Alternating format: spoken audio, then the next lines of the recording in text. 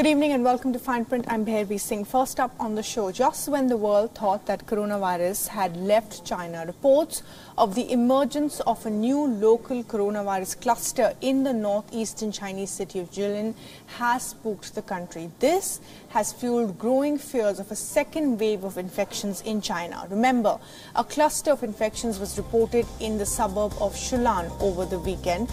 Now, due to the proximity of Jilin city and Shulan, it is being said that the new cases in Jilin are of the same cluster as Shulan. The Jilin city reported six new cases on Wednesday, all linked to the same cluster, bringing the total number of cases linked to a local laundry worker to 21. Jilin's vice mayor warned on Wednesday that the situation was extremely severe and complicated and there is a major risk of further spread. Jilin was uh, quick to partially shut its borders and cut off transport links, including bus services. It will only allow residents to leave the city if they have tested negative for COVID-19 in the past 48 hours. All cinema halls, indoor gyms, internet cafes and other enclosed entertainment venues have also been ordered to shut immediately.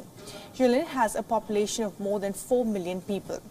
China has largely brought the situation under control, but it has been on the edge about a potential second wave as lockdowns and restrictions across the country are being lifted.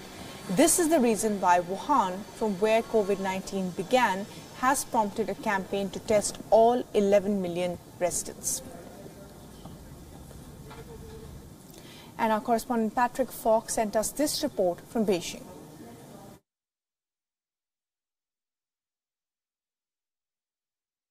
Yeah, that's right. There's actually been quite a lot of concern about new clusters of infections across northeast uh, China. There have been cases reported in seven different provinces, I should say, over the last uh, couple of weeks. But the vice mayor of Jilin has said that the situation is uh, severe and complex and said that there's a real risk of a possible uh, second wave. And so that's why authorities are uh, taking these steps to contain the spread. Of course, uh, trains have been suspended out of Jilin City. Now, the good news is that of the six cases, uh, five of them can be traced to a cluster in Shulan City that was previously known about, but of course, there's one uh, case that authorities don't appear to be certain uh, what the origin of uh, that particular case is uh, for the time being. And all of this is coming at really quite a bad time. We're just over a week away from the National People's Congress uh, when delegates from across the country are going to be traveling to Beijing. Part of the reason